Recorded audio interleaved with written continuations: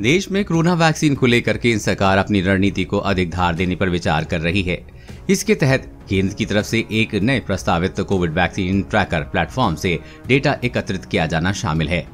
इस डेटा के आधार पर सरकार कोविडशील्ड डोज के बीच के गैप को बढ़ाने के अपने निर्णय के प्रभाव की समीक्षा करने की योजना बना रही है। साथ ही सरकार को ये भी तय करने की भी मदद मिलेगी कि कोविडशील्ड के लिए सिंगल डोज को मंजूरी दी जाए या नहीं। रिपोर्ट्स में सोर्स के हवाले से बताया गया है कि वैक्सीनेशन से जुड़े डेटा की समीक्षा का एक अन्य उद्देश्य ये समझना है कि क्या देश में कोरोना वैक्सीन की सिंगल डोज प्रभावी हो सकती है। इस संबंध में एक तर्क दिया जा रहा है कि अन्य viral vector vaccine single dose में उपलब्ध हैं।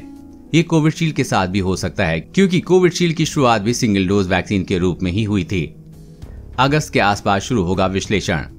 द इंडियन एक्सप्रेस की खबर के अनुसार, नए प्लेटफॉर्म के डेटा का अगस्त के आसपास विश्लेषण किए जाने की उम्मीद जताई जा रही है। रिपोर्ट में national technical advisory group on immunisation के तहत कोविड वर्किंग ग्रुप के अध्यक्ष डॉक्टर एन के अरोड़ा के हवाले से बताया गया है कि एक प्लेटफॉर्म बनाया जा रहा है। यहाँ क्लिनिकल डेटा, वैक्सीन डेटा और समग्र रोग डेटा के तीन सेट को एक साथ लाया जाएगा। इसके आधार पर हम वैक्सीन की प्रभावशीलता, पुनः संक्रमण और रुझानों को देखेंगे।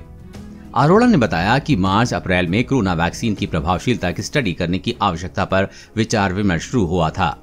कोरोना वायरस और कोरोना वैक्सीन से जुड़ी हर महत्वपूर्ण खबरों से हमेशा अपडेट रहने के लिए चैनल को सब्सक्राइब करें।